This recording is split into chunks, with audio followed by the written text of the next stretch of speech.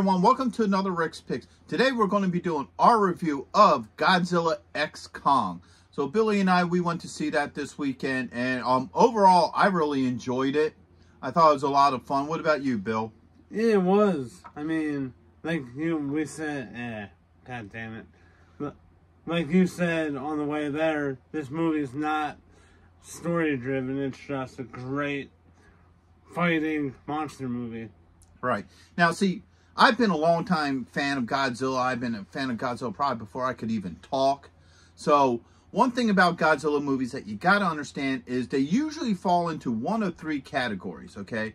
You got the first type of category, which is your serious Godzilla movie, the one that's an allegory movie, sort of as the original 1950s Godzilla, Godzilla Minus One, you know, where they're they're using Godzilla as an allegory. Like for the original movie, it was, you know, um, he was an allegory for the atomic bomb. You know, you got the other ones where he's, you know, an allegory for destruction and what have you. So these are your darker, deeper. You can even say Godzilla versus Hedorah's kind of like that because that was like anti-pollution. So you got the ones that like have the message. They're more story driven. Godzilla's just like the storm or the tornado or the big event that, you know, ruins everybody's lives. Then you got the ones that try to be more of a science fiction type of Godzilla. That's when you start getting into like the 2000s and stuff. I think that's the Heisei. I, I get the like the actual directors' names a little mixed up, so I apologize for that. But we're going to say the uh, late 2000, the 2000 movies. They try to get a little bit more science fictiony. They try to give it a little bit more of a storyline but they're trying to be a little bit serious too. Like you would think like maybe Godzilla versus Biollante or Godzilla versus Destoroyah, where they're doing more the science fiction thing. And then you got your campy Godzilla. You got the cheesy Godzillas of the 70s, 80s, where it was just basically giant monsters beating each other up and the storyline didn't matter. And this movie falls in the line of that. So if you like 80s, 70s, 80s Godzilla movies, you're going to like this movie because it falls in that kind of category of Godzilla. Do you agree with that, Bill? Yeah, absolutely.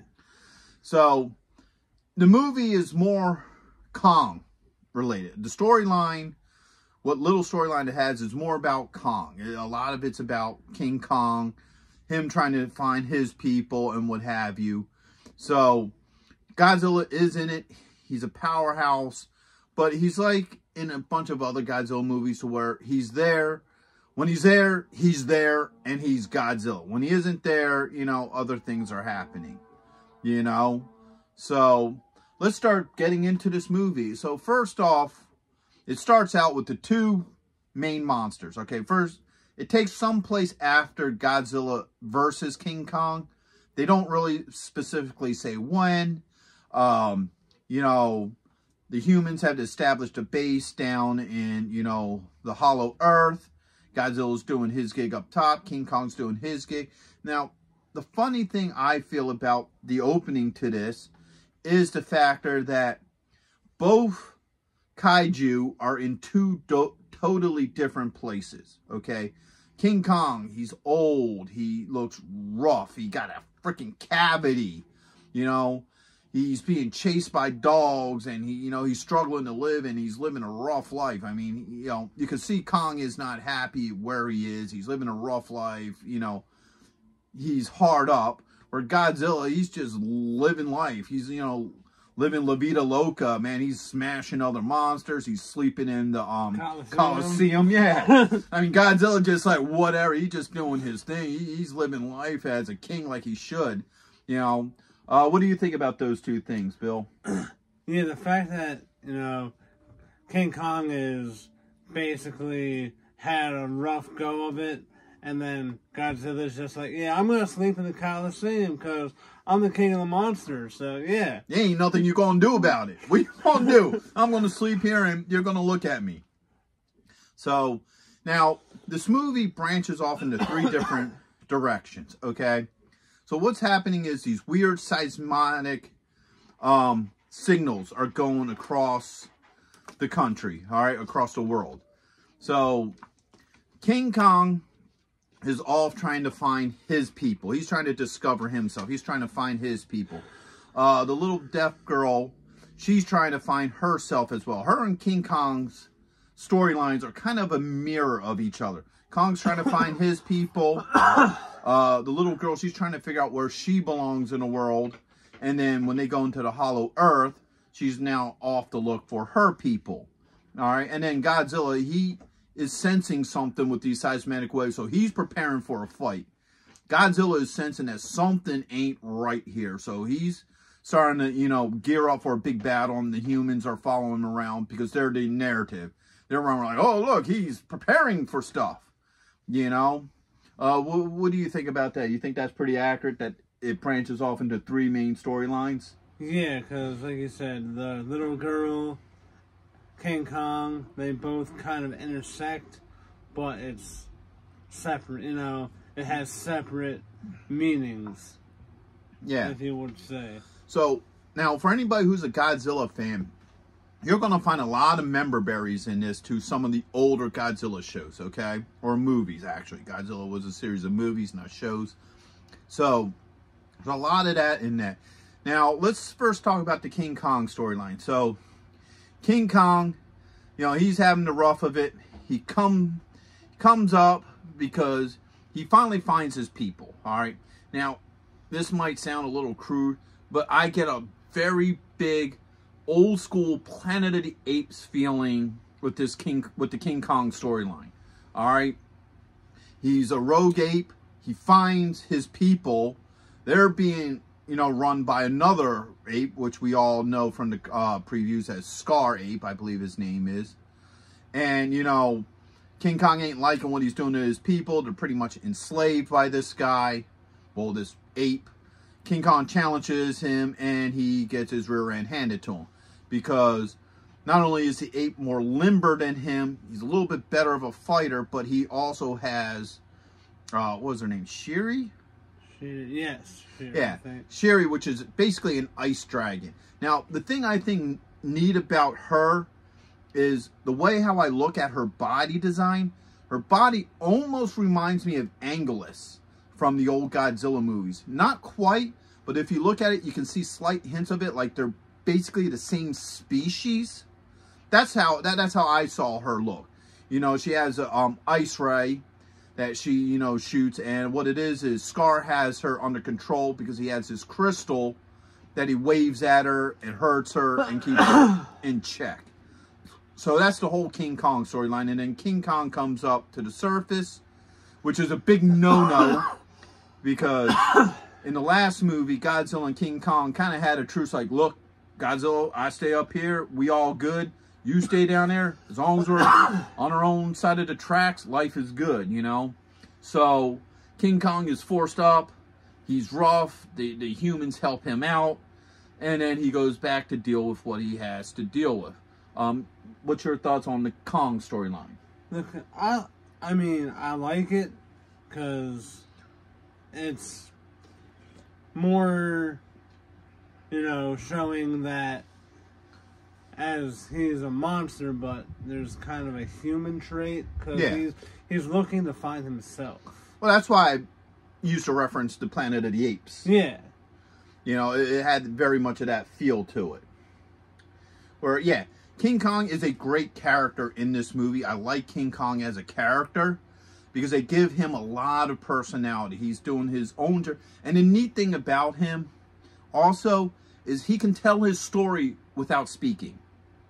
Like when you're watching King Kong and he's interacting with these other giant apes, you know, um, there's no talking, but the way how they communicate, you you you can pretty much understand what's going on. You don't need words, you know. Yeah. You know, what do you think about that, Bill? Oh, absolutely. I mean, you can just feel that the connection to the characters mm-hmm. with each other. But what, one of the funniest things in the world. Okay, so King Kong's off looking for his people, and he finds, you know, the little ape because what happened was the um gorillas destroyed the outpost. All right, they destroyed the outpost. That's what's bringing the humans down. So humans are looking at the outpost while King Kong's off finding himself. Okay. so when he first interacts, you know, you see the scene. They showed it in the trailers where you see Kong standing there, and then you see this giant ape shadow, and then it shrinks down, and it's the little monkey. You know, and you think, oh man, they're gonna have this cute interaction, and nah, the little dude attacks them, and there's like four or five other apes, and you get this really cool fight scene. But the funny part is, so you get like three or four apes against Kong. Then you get this little ape who's fighting Kong, and Kong takes this little dude, and he beats the hell out of everybody with him.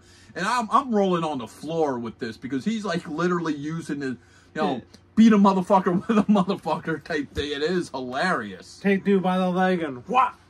Yeah. And then after that, you know, some of the other apes get killed. The one ape, you know, he's like an older, beat up looking guy. He runs, you know, for cover. Kong keeps the little ape, and then they start to build a rapport because I think the little apes used to being abused.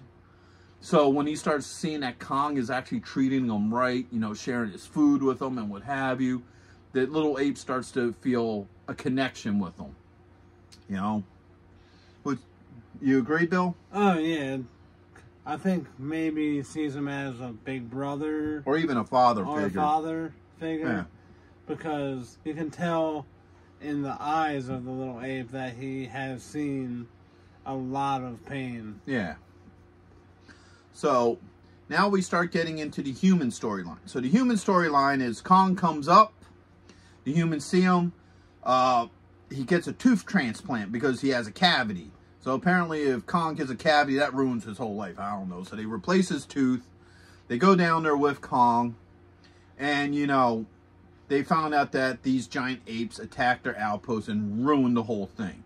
And you know, because they're establishing that the seismic waves that everybody is seeing is a call for help. So somebody's calling from help from you know the lower depths of the um the underground earth. What uh what do they call it again? Underground Earth. Yeah. So um so they're trying to figure that out. As they're figuring that out, you get established with a couple of characters, all right? Now, the the, the human storyline ain't that bad. All right? It's not the best thing in the world. It ain't the worst, but it drives the story. It's a story, you know, that kind of give purpose to this movie because you need some sort of storyline. As much as we would love to just sit there for two hours watching a bunch of giant kaiju beating the hell out of each other, you know, they do need some grasp of a story. So, you know, the little deaf girl can't commu- She isn't fitting in well with society. Um, the scientist that took her on as a mother, you know, she's, you know, she's upset because she wants her to fit in, but the kid isn't fitting in. And now she's finding out that these seismic waves are, you know, doing something to her, messing with her head. Because apparently now she has like psychic abilities as well. Yeah. So they get a hold of the um, podcast guy from the fir- from Godzilla versus King Kong, and he's going to help him out. Then they get this one dude, and I like this guy. I like this guy. The um, he's a kaiju um doctor, so he's like you know a vet for kaiju, and he's the one who replaces Kong. And he, I feel like he has a lot of personality. This guy really pops out at you. He, he has personality. You kind of like like the guy, you know. Um, what's your thoughts on the different characters in the the main characters of the movie? Yeah, the uh I guess you would say veterinarian dentist. He's fun. He just comes in and you can just tell he demands attention because he's funny. Well, not only is he funny, but he respects environment. Yeah. Like they had like a, um like a military guy. He was a pilot for their ship when they go into the um you know Um, Earth. Yeah, and um he gets wiped out. You know? Instantly. yeah. You know, he's trying to tell him, look, man, things don't feel right here. There's something that ain't right in this spot. I can sense it. The guy's like, oh, I tr- trust my technology over you. And, you know, he gets eaten by a tree. Mm-hmm. And, you know, the um podcast guy, he's really upset. He's like, oh, my God, this guy just... got-" And dude's like, look, man, we could deal with this later. Right now, we're in this situation. And you got to respect nature. And that's the one thing I like about this character. He has a lot of personality and he respects nature. He respects the flow of things. He's like, look, we can mourn later. We just got to deal with what we got to deal with now. So out of all the human characters, he's the one I liked the most. All right. So they're off on this venture, and what have you. And then they discovered the um, hidden people. Okay. This is um, the Death Girls people. Okay, so following the storyline in Godzilla versus King Kong, Skull Island was destroyed, and they thought all of her people were destroyed. You know, the, the protectors of Skull Island, they were all killed in a freak storm. She's the only survivor. But now there's another colony of the same people who live underground, you know, in the Hollow Earth. Finally got the name right again. The Hollow Earth. And they are the tribe of Mothra, okay? Now, if you're a Godzilla fan, you know that there was in the early Godzilla movies, around the 80s, which a lot of this is pretty much based on, there was a tribe of Mothra, and they had Mothra there because we know that one Mothra was killed in uh, Godzilla King of All Mo Monsters. But, just like the old 8, 70s and 80 movies, there was two Mothras. So that Mothra was killed. Now we have the second Mothra. So these people remind me of the old tribe of Mothra from the old Godzilla movies. All right. And not only do they remind me of the tribe of Mothra, but they also remind me of the um the people from I think it was Return to the Planet of the Apes or whatever that lived among the ape people, but they they lived beyond the forbidden zone. Like they created this forbidden zone so the apes couldn't get to them. And this is another reason why I get this Planet of the Apes vibe. But we're talking about the old Planet of the Apes, not the remakes, but we're talking about the old ones. So you get that feeling that the apes are fighting over here, but humanity is still there, but they keep themselves hidden from the apes and they become more psychic. And that's another comparison between the old Planet of the Apes and this movie is that these people are psychic. They can speak with their minds. You know, they have, you know, psychic abilities, which was very similar to, I can't remember what Planet of the Apes movie it was. I think, like I said, I think it was Return to or whatever, where the people had psychic abilities and they kept the apes away and what have you. So, once again, that go, connects back into that whole Planet of the Apes vibe. So, they find her people, and then they find out the history of Godzilla and these apes.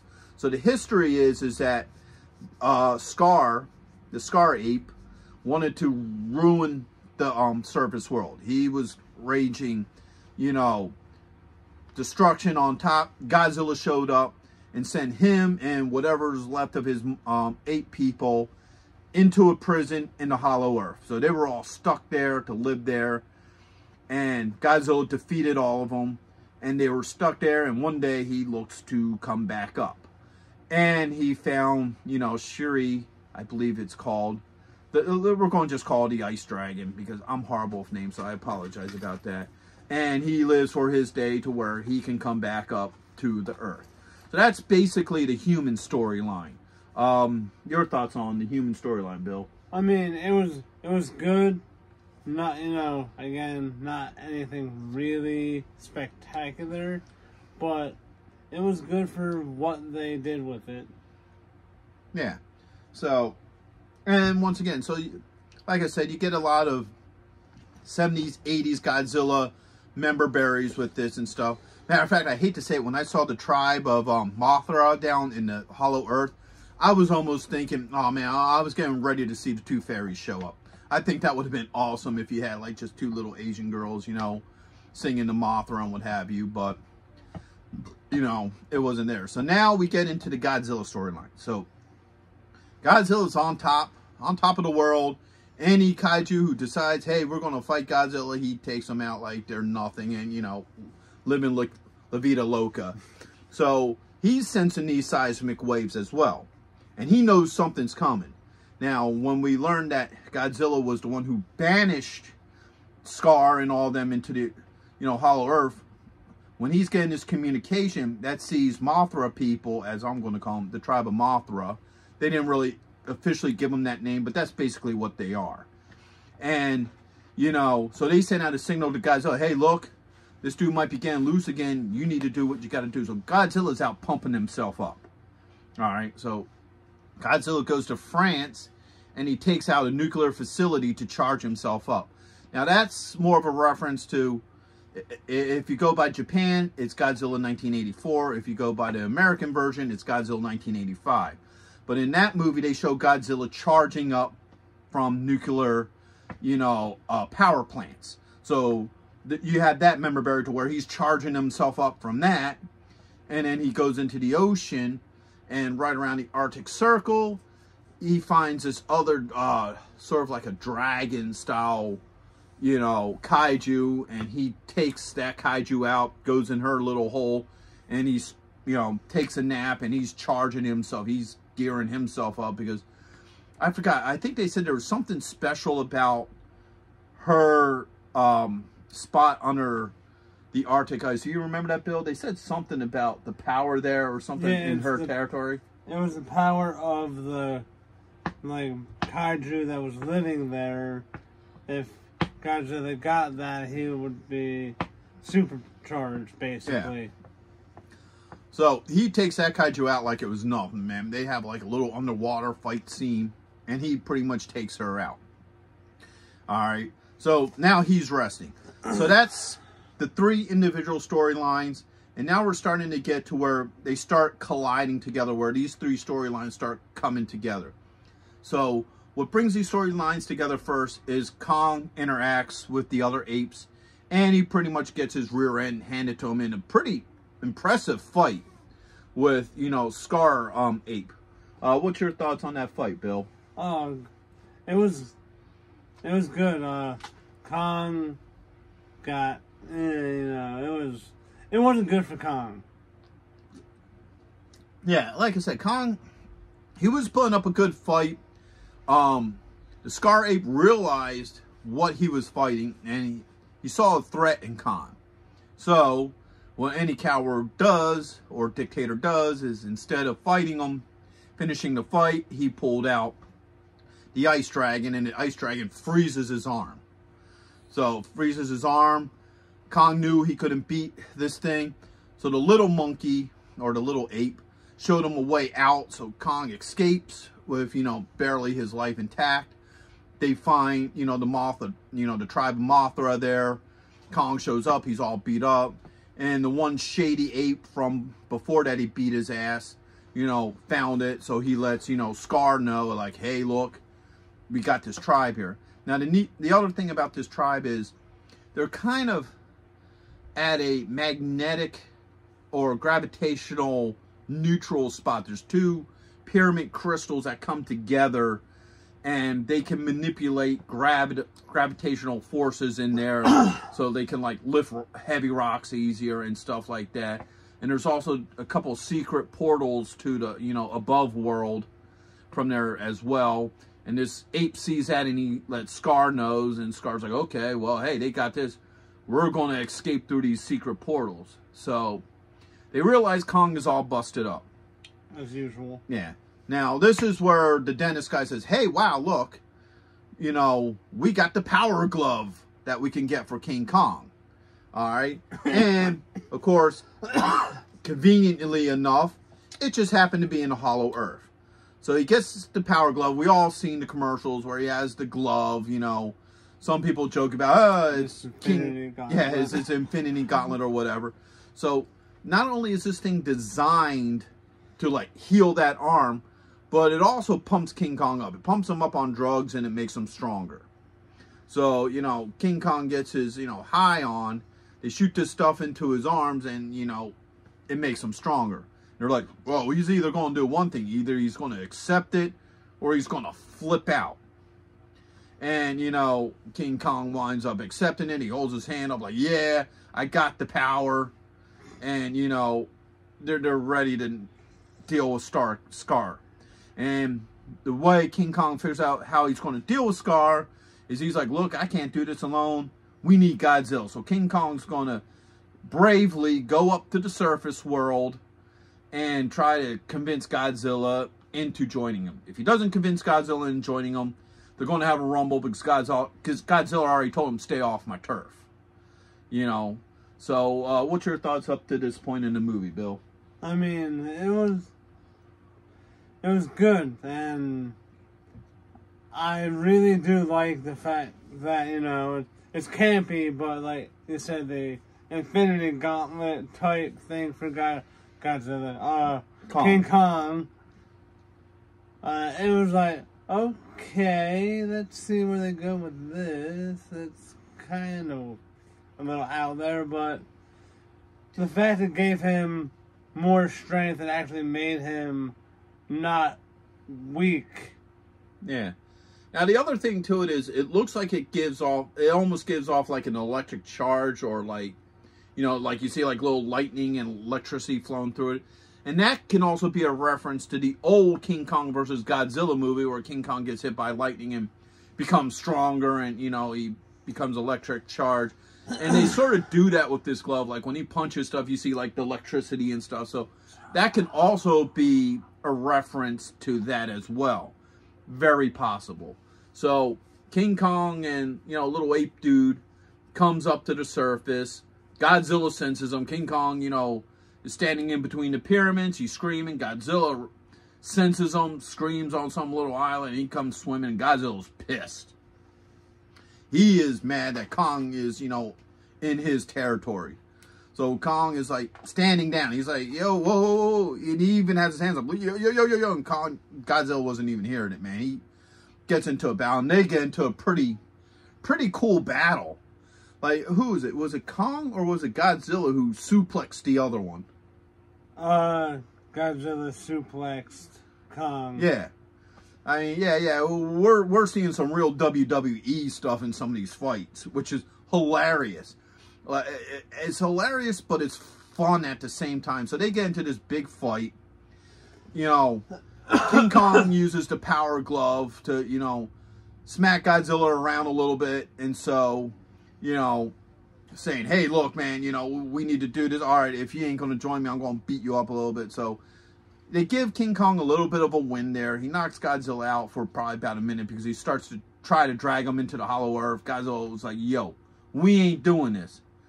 And, you know, burns King Kong up, beats him down, and he's getting ready to stomp him into the end of the world until Mothra shows up. All right. So getting back to the human part of this, the humans were going to wake up Mothra. Um, the little uh, death girl, you know, because these people can communicate psychically, she doesn't need to talk to them. She can communicate psychically to them as well, so they can all communicate that way. And she was prophesied to be the one from the surface who wakes up Mothra. All right. So um, she walks up to her. I guess she does some sort of mental thing. Now, me being an old school Godzilla fan, I'm waiting for the song. And we all know the Mothra song growing up. You're an old school Godzilla fan, you know the Mothra song. That the two little fairies always sing, Mothra. I ain't even going to try to sing it because I don't sing that good. But I'm expecting the damn Mothra song, and they didn't do it. I would have lost my shit if they would have done the Mothra song. You know, I, I, I would have just lost it right there. But no, they didn't do it. So Mothra comes up. Godzilla's getting two steps to killing Kong. All right, and Mothra stops him from killing him. She's like, "Look," you know. She doesn't say. Once again, they. The neat thing about this movie is the kaiju's communicate, but they don't use words, but they communicate in a way that you know what's going on. Okay, you know what's going on. So she's convincing Godzilla, "Hey, look, you need to work with Kong to save the world because you know Scar King and his crew." They're coming. They're planning on coming to the service, and they're gonna, you know, try to destroy everything. Now, this once again is another '70s, '80s reference. Um, I think it was Godzilla versus King Ghidorah, if I remember right, uh, to where uh, Mothra actually comes up to Anguirus and Godzilla. It was Anguirus and Godzilla in that movie and she convinced them no it was Anguirus, Godzilla, and Rodan. That's right. So I think it was actually Monster Zero or Zero. I'm not exactly sure. Uh, if you know exactly what Godzilla movie I'm referencing, go ahead and um, tell us in the comments. But she had to convince Godzilla, Anguirus, and Rodan to fight the big monster, and I think it was King Ghidorah. Usually when you get a team up, it's always King Ghidorah that they're fighting. So I forgot what exact Godzilla movie that was, but there was one where Mothra does convince Godzilla to try to save the world because Godzilla's like, no, I'm going to do my own thing. She's like, look, man, you got to do this. We got to save our world. So her doing this with Godzilla and King Kong, to me, feels like a reference to that Godzilla movie to where, you know, she gets them to fight the big baddie. Um, so what's your thoughts on it so far at this point, Bill? Yeah, again, um, super entertaining and like you definitely. I didn't take my eyes off the screen once up until that point. So they go down into the earth. All right, they're now they're in the Hollow Earth. Scar King and his crew shows up. You know, Godzilla, King Kong, Mothra, they're all ready to get fighting these guys. And then, you know, the humans came up with this idea that, hey, look, if you bring the two pyramids, the crystal pyramids together, make all gravity neutral. And then, you know, they'd have a moment to where they can try to keep Scar from, you know, coming up to the surface. So, you know, you see that iconic scene where Godzilla comes out of dirt, King Kong's running, and then they're doing the Avengers run. You know, you hear the Avenger music in the background. Dun, dun, dun. Now, you should be hearing it because that's what it felt like. So then gravity goes neutral, so they're all floating around. They're having this real anti-gravity battle, which is kind of really cool. You know, they're flipping and bouncing around and stuff. Probably Godzilla's the more experienced one with this because he's used to fighting underwater. So he's used to feeling, you know, fighting in that kind of, you know, thing. But it's a really cool fight. It's a lot of fun. Mothra is like webbing up, you know, any um, stray apes that might be fighting. So they're keeping the battle pretty much towards Godzilla, Kong, Scar, and the Ice Dragon, and even the little monkeys fighting the, the traitor monkey. You know, so they're so everybody's having like this back and forth, one-on-one kind of battle. It's a really fun scene. You know, um, what do you think about that scene, Bill? It was probably my favorite scene, honestly. Like that giant fight scene between all of them because it was action packed and you can tell that they wanted to put in just a great fight scene. It was like a whole bunch of in like a ninja movie when all the ninjas come Mm-hmm. and it was just awesome. Yeah, so it, it was a really fun fight scene. So gravity is returned, everybody comes to the ground, and now they bring the fight up to the surface. So now we're getting our final battle up on the surface. Um, it has the scene where you see in the um, commercials where the ice dragon shoots ice up in the air, makes everything cold, and what have you. So they're having their final battle down in South America. I forget where in South America. It's um shoot where the giant Jesus statue is. I can't remember the place, but so that's where they're having their final battle at. And that's the battle where you see the thing where um Skull King got the spinal cord whip and he rips off the top of the building, flings it at King Kong. So it's that whole fight. And this you get this giant battle royale fight. You know, it's bouncing off of each other. It's destroying. I mean, probably millions of people were just killed. A lot of property damage. I mean, they're leveling everything, but it's a kaiju movie, so you're not even caring about that. It's just total, you know, free for all combat. And the fight scene was a lot of fun. You know, and that's the one thing about this movie. You got a lot of fun fight scenes.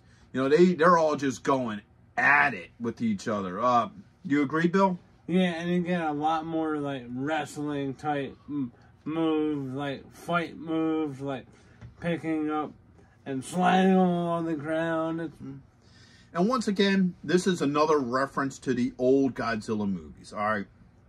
So in the old Godzilla movies, they did crazy stuff like that. You know, Godzilla, even Ultraman. Like you, you go to any of the 70s, 80s kaiju movies of that time, and you're getting all sorts of goofy, weird WWF style fighting matches between these monsters. Even Gamera got like that at times too. So this isn't out of the realm of those kind of movies. That's what they were like back in the days. You know, there was oh shoot, I think it was um um Gigan where um Jet Jaguar holds him, you know, and then Godzilla does the famous tail, you know, kick at him and stuff like that. So once again, a lot of this is a reference to that era of Godzilla. So you're going to get the corny, campy fights. You're going to get them rolling all over the ground. The only difference now is now they had the CGI technology to make it a lot more intense, make it a lot faster moving, opposed to a bunch of guys in rubber suits with explosions all around them. So, you know, it's really, really a fun scene. You know, I'm not going to ruin how it exactly ends. For any of you who are watching this and just curious about the movie, I don't want to spoil the end of the fight. But for the most part, Skull King is, I mean, I'm sorry, Scar King is defeated. They all team up and defeat him. They break the crystal that, you know, en ensnared the Ice Dragon. So now the Ice Dragon is free. All is good. Skull King, I mean, Scar King is defeated. And then life goes on, you know. So Kong rejoins his people. Godzilla's like, all right, man, you know what? I'm tired. I'm going to go take another nap in the Coliseum again. You know, Mothra returns to her people. And, you know, everybody's good and happy. You know, and that's, for essence, is the movie. You know, there's a little bit more dialogue between the humans and stuff at the end. You know, they get their stuff situated. And it's packaged up nice and neatly. Now, there isn't any kind of um credit scene, like extra scenes or nothing. So, once the credits rolling, the done the movie's done, you can go home. So overall, it was great. Uh, what do you think, Bill? Yeah, I loved it. It was just a great all around kaiju movie. So, I yeah, once again, I enjoyed it. If you're going to this movie to get a Godzilla minus one feel, this is the wrong Godzilla movie for you. All right because this isn't that kind of Godzilla movie. This is, once again, I categorize it in the 70s, 80s style Godzilla, where you get a weak human storyline, but you get a lot of fun kaiju fighting. So if you're into that era of Godzilla, you'll like this movie because that's exactly what it is. It's just fun, you know, a whole bunch of giant kaijus beating the living life out of each other and a lot of fun fighting. Um, as far as the fight count goes, Godzilla reigns overall. Okay? Nobody pretty much beats Godzilla in this movie. He he pretty much is the powerhouse. You know, he is the power. King so he was the one that they called in to deal with the mess. King Kong was your story-driven character. So he served more as part of the storyline going forward where Godzilla was there to clean up you know, and just, you know, wipe out anybody who was, you know, a problem. But overall, I really liked the movie. It was a lot of fun, and I enjoyed it for what it is. And I would highly recommend this movie to any Godzilla fan who likes these newer Godzilla movies. Um, you know, if you like these, uh, the latest Godzilla movies, you'll like this one. If you like Godzilla versus King Kong, you'll like this movie. If you like the old 70s, 80s Godzilla movies, you're more than likely to like this one. If you're looking for, once again, a minus well, minus one or Godzilla 1950s, this ain't your Godzilla movie. All right, so that's my personal thoughts on this. What is your thoughts on this movie? Yeah, I'm basically same boat as you. It it's a movie that's just there for the sheer enjoyment of giant monsters fighting. Yeah. So yeah, I would definitely give this probably four out of five myself. Uh, I really, really enjoyed it. Uh, you know, uh, what would you kind of rate this as, a Bill? Uh, I'd give it a six. Six out of five? Oh, oh, the. Yeah, wow, you really like this movie. Yeah, you know what? I'd wow. give it a five too, actually. So you're all right. So I'm giving it a four. You give it a five. Yeah. All right. So that's our thoughts on this movie. Um, I hope you guys liked this review. If you did, go ahead and check out my Godzilla Kaiju um, playlist where I do a lot of review on a lot of the uh, figures and such of Kaiju movies. And also hit that like, share, and subscribe button. They're all small clicks for you, but it really helps this channel grow. And if you like us doing these reviews, let us know in the comments because if more people like these reviews, we will do more of them. It's something that I'm experimenting with, so I'm not sure how many more reviews, but if you people really like that, I'll do all the Godzilla movies. You know, that, that wow. Mm. And that, that'd be a lot of movies. Would but be I, here forever. Yeah, but, you know, I would definitely look into something like that for future videos on this channel. So, with all that being said, have a good one. Late.